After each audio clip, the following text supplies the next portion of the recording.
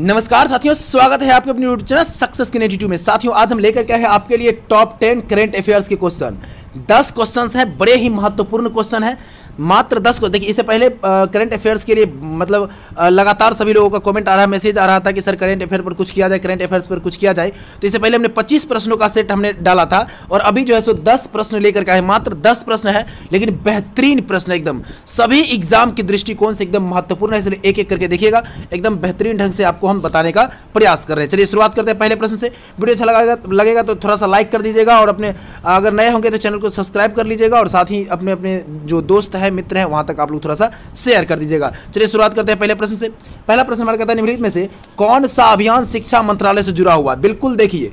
शिक्षा मंत्रालय से जुड़ा हुआ अभियान कौन कौन सा है? अब बात करेंगे, देखिए, चार ऑप्शंस आपके सामने दिए गए हैं। पहला, पढ़े भारत मिशन। दूसरा, भाषा सर्टिफिकेट सेल्फी अभियान। तीसरा, समाज सुधार अभियान। चौथा, शून्य अभियान। और पांचवा, उपरोक्त में से कोई नहीं या उपरोक्त में से एक से अधिक। क्या लगता है, बताइए, किसके साथ जाएँगे आप लोग? हमें तो लगता है कि बिल्कुल सब लोगों का मन बन चुका होगा कि नहीं, हमें ई के साथ ही जाना चाहिए। क्योंकि यहाँ पर कई जो पहले ऑप्शन है, पढ़े भारत अभियान, कहीं ना कहीं ये शिक्षा से जुड़ा हुआ लग रहा है।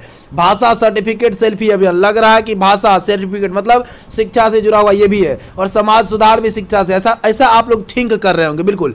है कि नहीं? लेकिन आपका आंसर क्या हो जाएगा? बिल्कुल यही होगा। और यहाँ देखेंगे आप, जो पढ़े भारत अभियान है, इसके तहत आपको पहली से लेकर के आठवीं तक के बच्चों को मातृभाषा में पाठ्य पुस्तक उपलब्ध कराना, साथ ही साथ उसके सीखने के स्तर में सुधार हो, इसके लिए पढ़े भारत अभियान की शुरुआत की गई है। दूसरा देखिए, यानी शिक्षा से शिक्षा मंत्रालय से जुड़ा हुआ है। दूसरा देखिए, भाषा सर्टिफिकेट सेल्फी अभियान, ये भी जो है सो आपका भाषा संगम मोबाइल ऐप ऐप है एक, ठीक है? आप लोग भी लोड करके देख सकते हैं भाषा संगम मोबाइल ऐप ठीक है? ये भाषा संगम मोबाइल ऐप क्या है?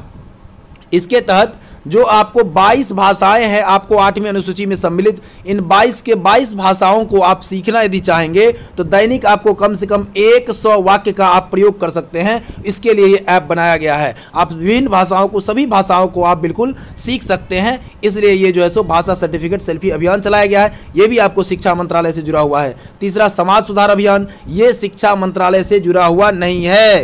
ये किससे जुड़ा हुआ है? तो समाज सुधार आंदोलन तो आप जान ही रहे नीतीश कुमार जी समाज को सुधारने में पूरी तरीके से लगे हुए हैं। तो बिहार सरकार के द्वारा ये चालू किया गया है और ये नशा मुक्ति के साथ साथ, नशा मुक्ति के साथ साथ दहेज एवं बाल विवाह दहेज और बाल विवाह पर जो है इसको समाप्त समाप्त करने के लिए यह अभियान चलाएगा बिल्कुल खत्म करने के लिए। ज़ीरो टॉलरेंस जिसको कहते हैं शून्य शून्य पर चला जाना, ठीक है?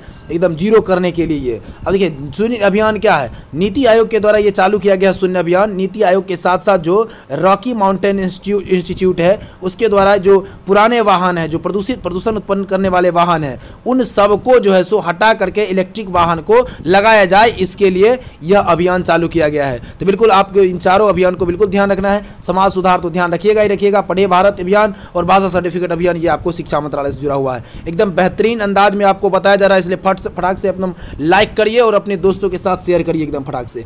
मल्टी देखिए, अगला है मल्टी डायमेंशनल प्रोवर्टी जो इंडेक्स 2021 के अनुसार बिहार की स्थिति क्या कहती है? देखिए, जो मल्टी डायमेंशनल प्रोवर्टी इंडेक्स है, इसको हम कहते क्या है? पहले ये जान लीजिए। ये आपको जो है, राष्ट्रीय, इसको कहते हैं बहुआयामी निर्धनता जो है सूचकांक कहते हैं ठीक है? बहुआयामी निर्धनता सूचकांक कहते हैं। ये तीन चार मतलब लगभग आठ चीज़ों को देखिए आठ से दस चीज़ों पर अ, मतलब अ, क्या किया जाता है? गौर किया जाता है उसके अनुसार ये निकाला जाता है। जैसे शिक्षा हो गया स्वास्थ्य हो गया उसके बाद पेयजल है आवास है पोषण का स्तर है ज, जो जीवन है उसका क्या स्तर है रह- रहन सहन का स्तर क्या है? इन सभी को देख करके यह इंडेक्स जारी किया जाता है। ये नवंबर 2021 में जारी किया गया है नवंबर 2021 में। और नीति आयोग के द्वारा नीति आयोग के द्वारा जो 2015 में नीति आयोग बना है। इससे पहले कौन सा था? क्या नाम था? बताएँगे आप लोग। नीति आयोग का पुराना नाम क्या था? आप लोग कमेंट में हमें ज़रूर बताइएगा।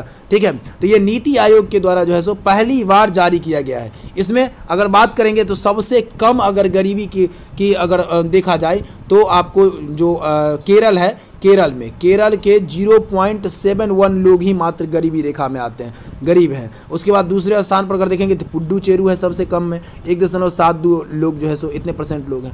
लेकिन अगर वहीं बिहार की बात करें सर तो बिहार की, बिहार में आपका उनसठ दशमलव, और सॉरी इक्यावन दशमलव कितना? इक्यानवे प्रतिशत, ठीक है? इक्यावन दशमलव इक्यानवे प्रतिशत लोग जो है आधा से ज़्यादा लोग गरीब हैं, और दूसरे स्थान पर गरीबी में बयालीस दशमलव सोलह प्रतिशत लोग हैं, जिनका जो रहन सहन है, शिक्षा का स्तर है, ये सब बहुत ही नीचा है ठीक है? इसे ध्यान रखेंगे आप लोग। चलिए आगे बढ़ते हैं। देखिए क्वेश्चन नंबर थ्री क्या कहता है? ती, तीसरा नंबर है सतत विकास सूचकांक जो एस डी है। नीति आयोग के द्वारा ये जारी किया जाता है सतत विकास सूचकांक। बिहार को कौन सा स्थान दिया गया है? सबसे खराब स्थान बिहार को ही प्राप्त हुआ है। जो कौन सा है? तो बावनवा स्थान है। कौन सा है? बावनवा स्थान सबसे खराब बावनवा सॉरी बावनवा कहते हैं बावन अंक दिया गया इसको। बावन अंक के साथ सबसे अंतिम स्थान कहिए सबसे अंतिम स्थान दिया गया सभी राज्यों में। एक नंबर पर अगर कह दें तो केरल को रखा गया है। प्रथम स्थान पर केरल है, जिसको पचहत्तर अंक दिया गया है। लेकिन दो नंबर पर अगर बात कर लें तो दो राज्य आ जाता है, हिमाचल प्रदेश, यानी एचपी लिख लीजिए शॉर्टकट हिमाचल प्रदेश, और उसके साथ तमिलनाडु, ठीक है? तमिलनाडु, इन दोनों को जो है सो चौहत्तर अंक दिए गए हैं, दूसरे स्थान पर है। इसे भी आपको ध्यान रखना है। लेकिन बिहार से देखिए, बिहार को मात्र बावन अंक दिए गए हैं, लेकिन बिहार से ज़्यादा जो है सो आपको किसको दिया गया? छप्पन अंक दिया गया झारखंड को। झारखंड भी इस मामले में आपको बिहार से कहीं आगे है। अब देखिए, कुछ चीज़ें और भी है, देखिए। गरीबी नहीं है। किस राज्य में गरीबी नहीं है? तो तमिलनाडु में याद रखिएगा। किस, कौन सा ऐसा राज्य है जिसमें गरीबी नहीं है? तो तमिलनाडु में, तमिलनाडु गरीब नहीं है। कौन सा ऐसा राज्य है जहाँ भूखमरी नहीं है? तो केरल ऐसा राज्य है जहाँ पर भूखमरी नहीं है। याद रखिएगा। गरीब गरीबी नहीं, तमिलनाडु भूखमरी नहीं, केरल। अच्छा स्वास्थ्य के लिए कौन सा राज्य जाना जाता है? गुजरात। गुजरात जो है, दो चीज़ें पर ध्यान रखें गुजरात में। अच्छा स्वास्थ्य के लिए भी जाना जाता है। इंडस्ट्री और इनोवेशन के साथ साथ जो इंफ्रास्ट्रक्चर होता है, उसके लिए भी जाना जाता है, ठीक है? यहाँ पर, साफ़ पानी के लिए कौन सा राज्य जाना जाता है? तो गोवा, साफ़ सफ़ाई और साफ़ पानी के लिए गोवा जाना जाता है। इन सब चीज़ को आपको बिल्कुल ध्यान रखना है। लैंगिक समानता कहाँ है? तो छत्तीसगढ़ में। अगर इस सूचकांक को सतत विकास विकास सूचकांक की अगर बात करें हम लोग तो छियासठ अंक दिया गया पूरे देश को। देश को अगर बात करें तो छियासठ अंक दिया गया, ठीक है? आइए क्वेश्चन नंबर चार देखते हैं। इसी तरह बढ़ाने में एक क्वेश्चन छूट गया था किसी वीडियो में। देखिएगा, कहता है वीडियो को थोड़ा सा लाइक कर दीजिए फटाफट आप लोग। कहता है, सुशासन, सूचकांक, यानी गुड गवर्नेंस इंडेक्स 2021 नए, ने किस राज्य को प्रथम स्थान दिया? ने होना चाहिए था यहाँ। ने किस राज्य को प्रथम स्थान दिया? देखिए गुड गवर्नेंस की बात हो रही है। जब ये 2021 में जारी किया है गुड गवर्नेंस जो दिसंबर 21 में किया गया, कौन सा? दिसंबर 2021 में किया गया, ठीक है? ये आपको अटल बिहारी वाजपेयी जी का जन्म दिवस जो 25 दिसंबर है 25 दिसंबर को जन्म दिवस होता है तो इसी 25 दिसंबर 2021 को जो है, ये गुड गवर्नेंस इसकी शुरुआत की गई है।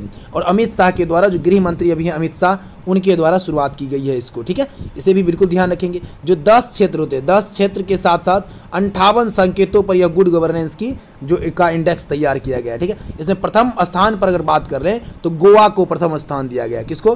गो सॉरी हाँ नहीं, गोवा को नहीं दिया गया प्रथम स्थान पर कौन है? तो ये गुजरात है प्रथम स्थान पर, याद रखिएगा। कौन से हैं? प्रथम स्थान पर गुजरात है, ठीक है? गुजरात है। जो गोवा है आपका, ये तृतीय स्थान पर चला गया कौन से? तीस, तीसरे स्थान पर चला गया गोवा, ठीक है? तीसरे स्थान पर। और महाराष्ट्र है दूसरे स्थान पर, ठीक है? बिहार की अगर बात करें तो ये बिल्कुल अंतिम से पीछे है, ठीक है? सार्वजनिक जो आपका बुनियादी ढांचा होता है, उपयोगिता क्षेत्र होते हैं, ऐसे तो इसको बी ग्रेड में रखा गया बी ग्रेड में रखा गया, ठीक है? इसे भी ध्यान रखेंगे आप लोग। तो गुड गवर्नेंस में गुड गवर्नेंस इंडेक्स दो है, इसमें प्रथम स्थान पर गुजरात, द्वितीय स्थान पर जो है सो आपका महाराष्ट्र, तीसरे स्थान पर गोवा को रखा गया, ठीक है? इन सभी चीज़ों को आपको ध्यान रखना है। आगे बढ़ते अगला क्वेश्चन क्या कहता देखिए। आइए क्वेश्चन नंबर फाइव क्या कहता देखते क्वेश्चन नंबर फाइव है। हाल ही में केंद्र सरकार ने महिलाओं के विवाह की उम्र 18 से बढ़ाकर कितने साल करने का प्रस्ताव संसद में पेश किया देखिए 18 से बढ़ा करके 21 साल करने के लिए संसद ने पेश कर दिया है। पेश भी कर दिया, बातचीत भी हो गई, इस पर चर्चाएँ भी हो गई। ये दिसंबर दो हज़ार इक्कीस की बातें हैं। दिसंबर 2021 की। लेकिन अभी अंतिम रूप से कहेंगे तो कानून नहीं बना है, ठीक है? कानून कानून जो है अंतिम रूप से नहीं बना है, ठीक है? इस बात को बिल्कुल ध्यान रखिएगा, ठीक? लेकिन ये पास हो गया है संसद में, चूँकि देखिए, ये होता क्या है कि जब कोई भी चीज़ें संसद में होता है, संसद में चला जाता है तो दोनों सदन में उसको पास कराना होता है, उसके बाद जा करके राष्ट्रपति साहब का मुहर लगता है, उसके बाद वो पूरी तरीके से जो है कानून बन जाता है, ठीक है? लेकिन अभी पूरी प्रक्रिया इसका संपन्न नहीं हुआ, लेकिन ये जो है सो प्रक्रिया अधीन है, ये हो सकता है तो आगे एक कुछ दिनों में, कुछ समय में हो जाए, लागू हो जाए, ठीक है? चलिए आगे बढ़ते क्वेश्चन नंबर छः देखते हैं। हाल ही में भारत सरकार के द्वारा प्रारंभ की गई श्रेष्ठ योजना, कौन सा योजना? श्रेष्ठ योजना। ये इसका संबंध किससे है? श्रेष्ठ योजना जो है, ये आपको छः दिसंबर 6 दिसंबर 2021 को ये क्या हुआ था? इसकी शुरुआत की गई है।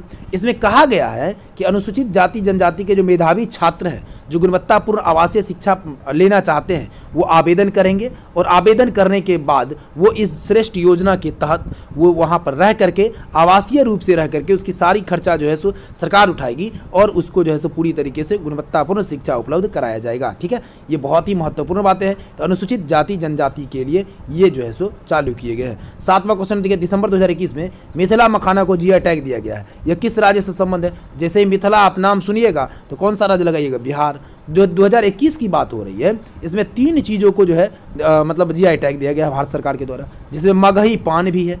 कौन सा है? मगही पान जर्दालू आम ठीक है?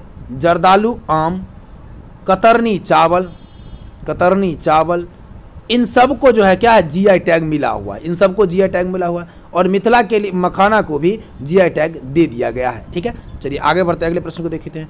टाइम मैगनीज द्वारा वर्ष 2021 की बात हो रही है। पर्सन ऑफ़ द ईयर किसे चुना गया? पर्सन ऑफ़ द ईयर तो ये देखिए एलन मस्क जो है, इनको चुना गया, जो टेस्ला कंपनी के क्या है? सीईओ है। टेस्ला कंपनी के सीईओ है सीईओ है। टेस्ला कंपनी के सीईओ है एलन मस्क इनको जो है, सो ये दिया गया है। आगे बढ़ते हैं, अगला क्वेश्चन देखते हैं क्या है देखिए। हाल ही में किस भारतीय क्रिकेटर की बात कर? रही है क्रिकेटर की बात हो रही है।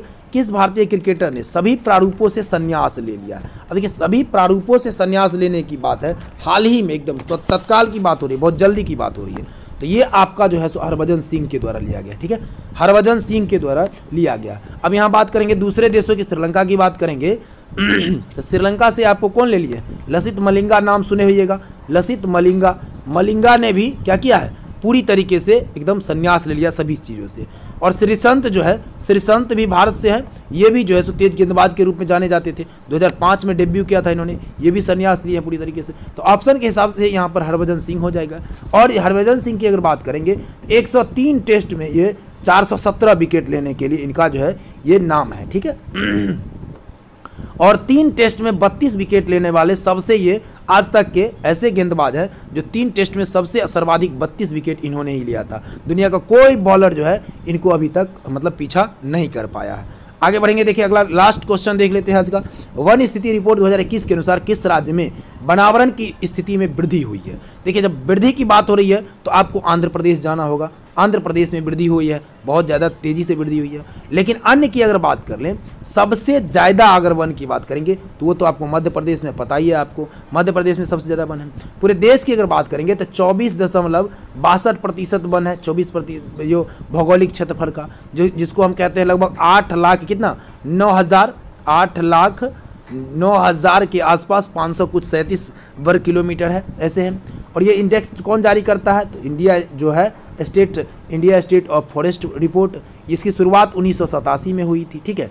गोवा जो है, ऐसा राज्य है जिसमें सबसे कम सबसे कम वन है, ठीक है? सबसे कम वन गोवा में है, ठीक है? तो इन सब चीज़ों को आपको ध्यान रखना है। आई होप कि वीडियो अच्छा लगा हो, वीडियो को लाइक कर दीजिए कमेंट कीजिए, दोस्तों के साथ शेयर करना नहीं भूलिएगा। चलिए वीडियो देखने बहुत बहुत धन्यवाद।